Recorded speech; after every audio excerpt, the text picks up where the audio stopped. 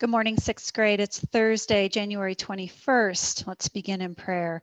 In the name of the Father, and the Son, and the Holy Spirit, amen. May I be at peace. May my heart remain open. May I be aware of my true nature. May I be healed. May I be a source of healing to others. May I dwell in the breath of God. Amen. In the name of the Father, and the Son, and the Holy Spirit, amen.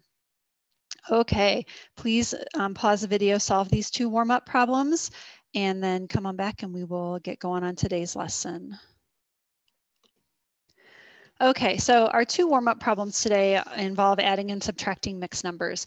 Um, I want to, before we even solve these problems, I want to just reassure you that you're going to, we're going to practice adding and subtracting um, just fractions and mixed numbers with all the different signs and all those different little details involved throughout this whole unit. Okay, we are moving on today. We're going to move on to multiplication today. And I know that some of you are probably a little bit panicked that you're still struggling with adding and subtracting, and that's okay.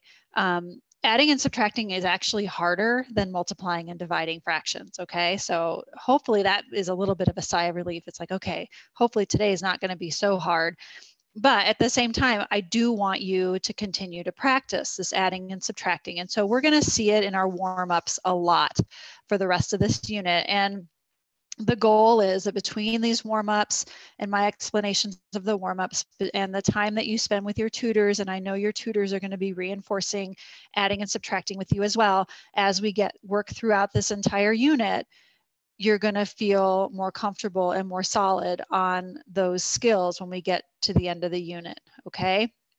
So um, the bottom line is I want you to keep working hard, but I also don't want you to get too panicked or discouraged if it's still hard. Okay. Because like I said, adding and subtracting fractions and mixed numbers is hard.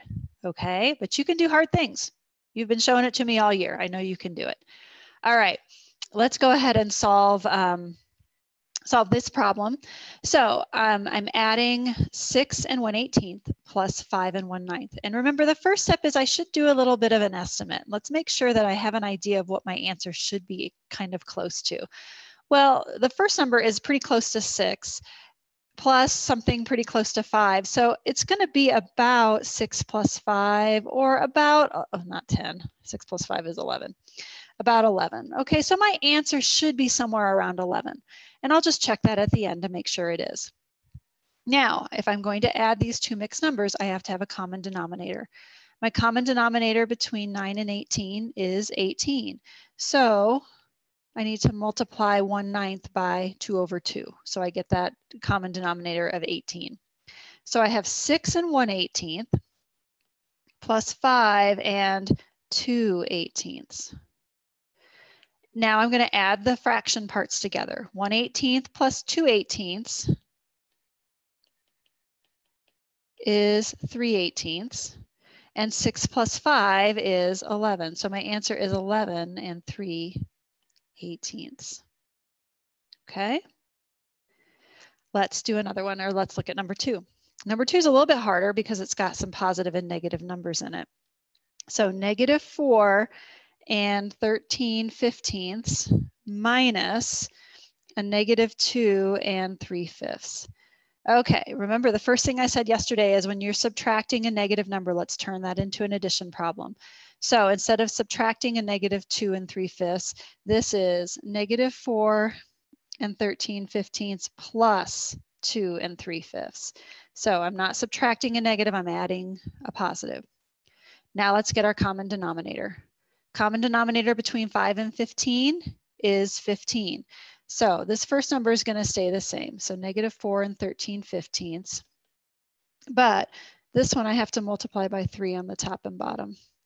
2 and 9 fifteenths. Okay. Now let's add our fraction parts together. So we have to be careful here because this whole first number here is negative, which means this is negative 13 fifteenths plus positive 9 fifteenths because 2 and 9 fifteenths was positive. Negative 13 plus 9 is negative 4. So I've got negative 4 fifteenths, and then I need to add my integer parts together. Negative 4 plus 2 is negative 2. And so my answer is negative 2 and 4 fifteenths. Okay, oh, and I didn't estimate on this one. Um, if I go back up to the top and think about it, my answer is probably close to negative, it's probably close to negative 5 plus, I'm going to say it's close to, to 2. Negative 5 plus 2 is negative 3. Negative 2 and 4 fifteenths is, it's reasonably close to negative 3, okay? All right. So that was our warm up. Now let's talk about today's objective. Okay. So, um, like I said at the very beginning, we're, you know, we're still, again, thinking about the parts of the fraction and how that impacts its value and how the different operations, you know, as we're doing addition and subtraction and multiplying and dividing with fractions, how is that changing the value of the fraction? How is that impacting the fraction of the value? So I want you thinking about that as we're solving problems. Today, um, we are going to multiply fractions. So we're going to be multiplying positive fractions and negative fractions and positive times negative and negative times positive and negative times negative. The good news is when we multiply fractions, we follow the same rules for multiplication that we did with integers. Okay, so that's what's kind of cool about doing fractions, um, multiplication of fractions. So before we do that though, let me get my whiteboard up and we are gonna talk about what multiplication of fractions really means. Okay, now before we get into fractions themselves, I wanna just talk about multiplication and we need to think about what multiplication is. Multiplication is repeated addition okay and i'm going to write that down and then i'm going to explain it because that's kind of a that's kind of a little bit of an abstract concept there. So multiplication is repeated addition.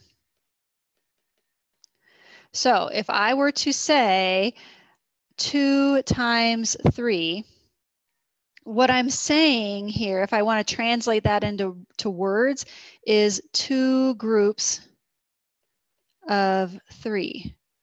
Two times three is two groups of three. And we know we've been doing multiplication facts for so long. We know two times three is six, but why is that?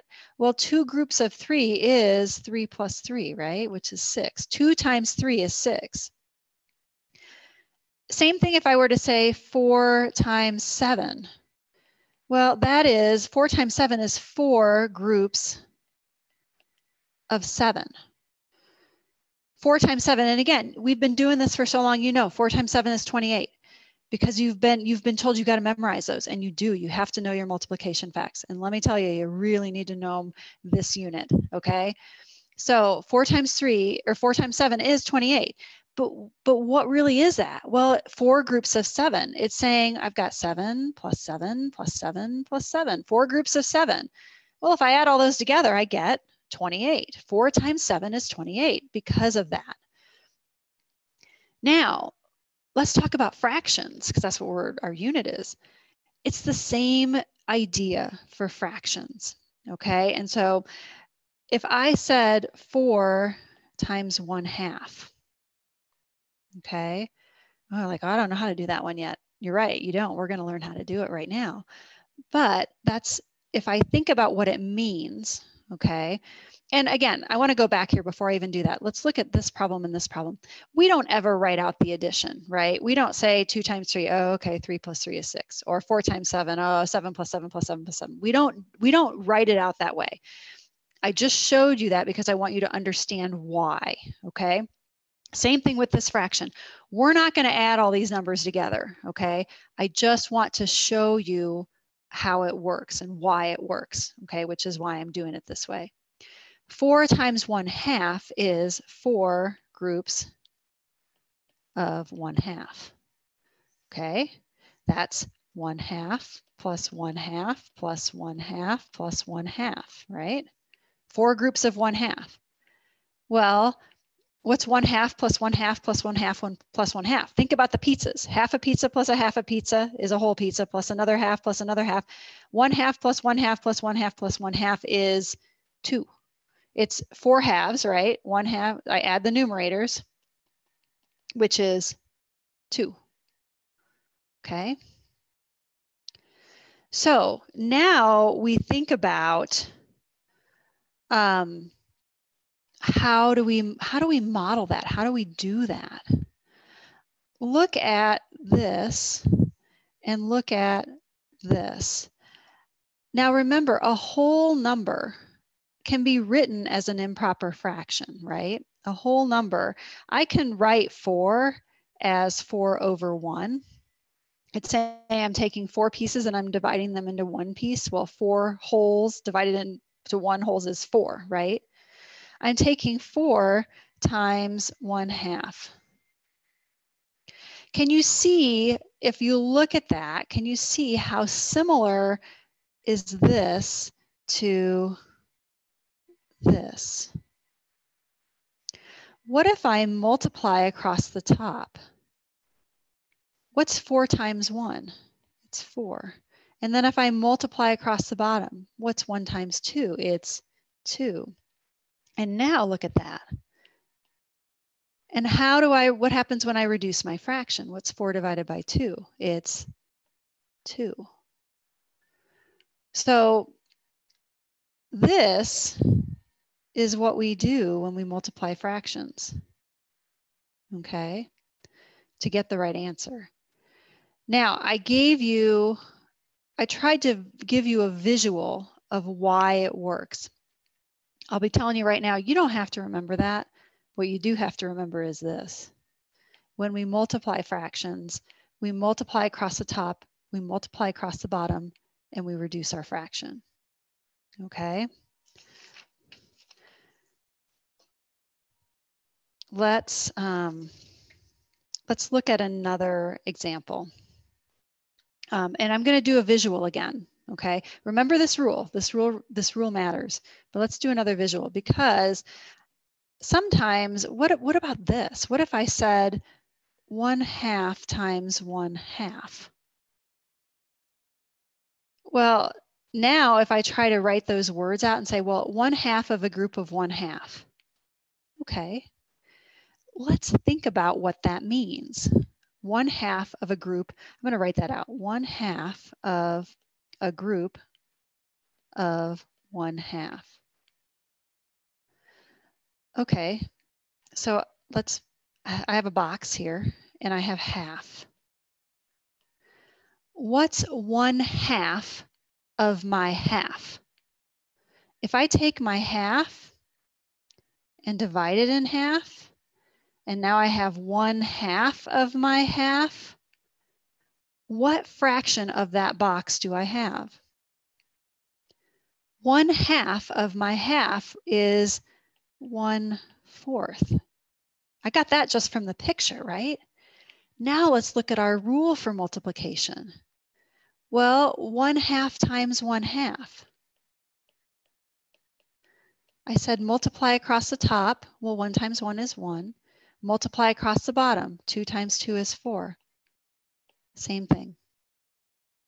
Okay, that's why the rule works. I wanted to show you the picture because I want you to understand or at least believe me, um, why that rule works. Okay, so let's look at some other examples.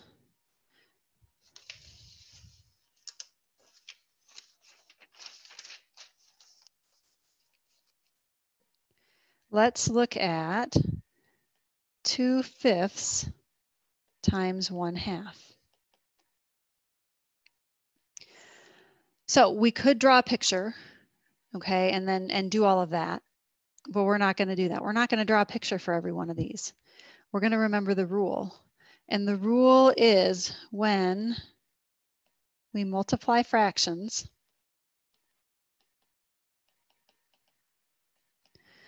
multiply across the top,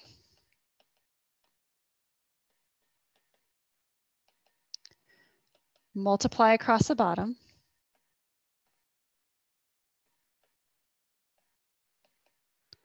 simplify your fraction.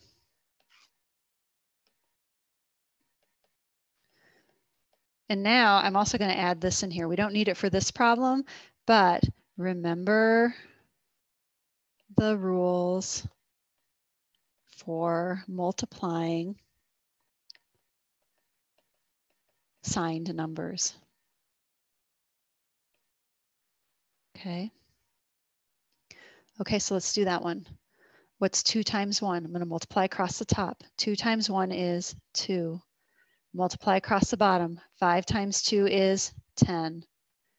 And then I need to reduce my fraction. Two tenths can be re reduced if I divide by two on the top and bottom to one fifth. Okay. Let's do another one.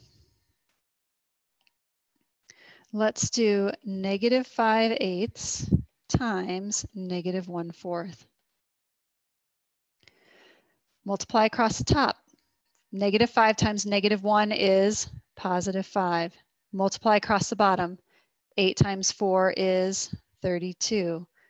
Can I reduce this fraction? It's simple. It's done, simplified. Okay, let's do another one. Let's do negative 4 fifths times 2 thirds. Multiply across the top. Negative 4 times 2 is negative 8. Multiply across the bottom. 8 times, or not 8, 3 times, 5 times 3 is 15. Can I reduce 8 over 15? Done. Let's do another one. Let's do 7 times 3 tenths. Ooh, this one's a little trickier. I can't multiply 7 times 3 tenths the way it's written. Remember, I have to have both those numbers as fractions. How do I write 7 as a fraction? 7 as a fraction is 7 over 1. You have to rewrite whole numbers as fractions. You have to, okay? And it's going to be that number over 1. Now we can multiply. 7 times 3 is 21. 1 times 10 is 10. Now, I'm not done on this one. 21 over 10 is an improper fraction, so I need to turn this into a mixed number.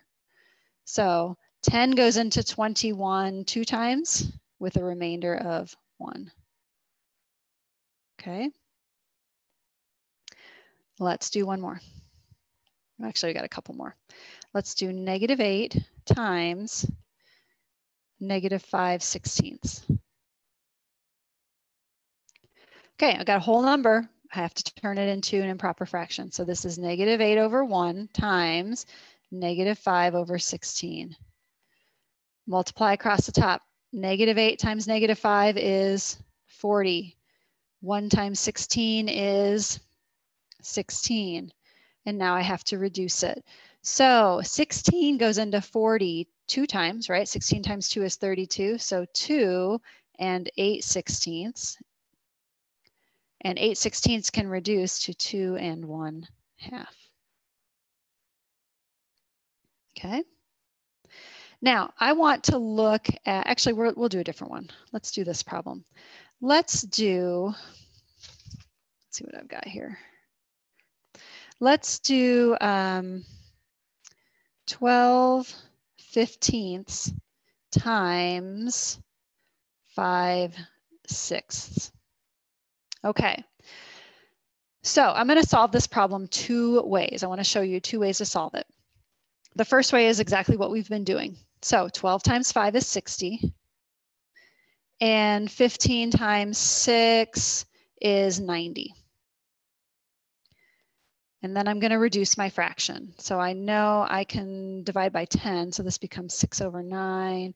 And then I can divide by 3, so this becomes 2 over 3 is my answer. Okay. So there is a there's another way to solve this, and it's not really a different way. It's the same way, but we can do some shortcuts. So if I look at my problem again, 12 over 15 times 5 over 6. I can cancel factors. I can simplify these fractions before I actually multiply everything together. So when you're when you cancel factors, okay, canceling factors, You can only go top to bottom and diagonal. Okay. You can't, cannot cancel across horizontally. Okay, now I'm going to show you what that means. If I look at um, 5 and 15, okay, so this is diagonal, right? 5 to 15 would be diagonally. This would be across, this would be top to bottom, okay? Me that. I can cancel factors and I can say, well, 5 and 15 have a common factor of 5. This becomes 1 and this becomes 3. If I divide them both by 5, and then I can do the same thing with the 12 and the 6. I look at those and say, oh, well, they've got common factors too. 6, if I divide by 6 is 1. 12, if I divide by 6 is 2. And now when I multiply across the top and multiply across the bottom, I get 2 times 1 is 2 and 3 times 1 is 3. Okay, which is the same answer. The benefit of doing it that way is that you don't end up with such big numbers. See, I ended up with 60 over 90, and then I had to reduce that down to two thirds, which is fine. And you can do it that way. And if you're like, Mrs. Rottinghaus, this is too much. I don't want to have to cancel factors. Don't have to cancel factors but start thinking about it because it does make the numbers smaller. It makes your multiplication smaller. Okay, let's do one more of those just so I can show you again what it what it means. What if I did, um, let's do 21 over 48 times, uh, let's do six over seven. Okay. Now, I can multiply across the top, multiply across the bottom. Look at how big those numbers are going to be. I've got 21 times 6, which I have to do off to the side. I don't even know what that is. 6, 126 over, and then I've got 48 times 7, 6, 5, 28, 30, 336. Okay, so, and then I have to reduce that fraction. And that's a really hard fraction to reduce because those are numbers I'm not familiar with. Okay, so I'm going to stop there. I'm going to say, you know what? I want to cancel factors. Let's go back and look now at the original problem. 21 over 48 times 6 over 7. And let's see if I can if I can cancel any factors before I start. And I look at this and I say, okay, 21 and 7 Seven is a factor of 21. Seven, if I divide by seven, I get one. And if I divide by seven, I get three. 21 divided by seven is three. So I've made those numbers really a lot smaller. And let's do the same thing with 48 and 6. Look at those, and they do have, they have a common factor too. 6 is a factor of 48. So if I divide by 6, I get 1. If I divide by 6, I get 8. 3 times 1 is 3. 8 times 1 is 8. 3 eighths. If I reduce this fraction, I'll get 3 eighths. But it's going to take a lot of work. I have to figure out the common factors and then I have to divide really big numbers. So, and you can, you can do that. But like I said, if you want to start trying to cancel factors when you've got big numbers, it will make the problem easier. Okay, so start thinking about that. Even if you don't do it on today's homework, even if you're like, no, Mrs. Rottinghaus, I just, I'm going to multiply across the top, multiply across the bottom, reduce. That's fine. But start thinking about how you can make that problem smaller by canceling factors, okay? All right, one more thing I wanna show you because you are gonna see this in your homework. So when you see multiplication or the word, so multiplication in math, or I shouldn't say that, I should say the word of. When you see the word of in math, it typically means multiplication. Okay, so if you see a problem that says find 3 fifths of 70, that means multiplication. 3 fifths of 70 means 3 fifths times 70. And let's solve it. Well, 70, remember, is a whole number, so I have to write it as a fraction. I have to write this as 3 fifths times not 3 thirds, 3 fifths times 70 over 1. And then solve it. So I can, let's just multiply across top, multiply across the bottom. 3 times 70 is 210. 5 times 1 is 5. But now I have to reduce it, right? So 5, how many times does 5 go into um, 210? So 4 is 20 and 2. So it goes in 42 times. Okay. Let's do one more. Let's do find one fourth of five. One fourth of five is one fourth times five, which is one fourth times five over one. Five times one is five, four times one is four. And that, if I simplify that, becomes one and one fourth. Okay. All right.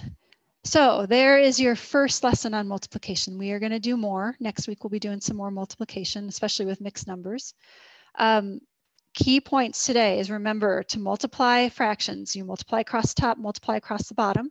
Remember the rules for signs. So if you're multiplying negative times a negative, you get a positive.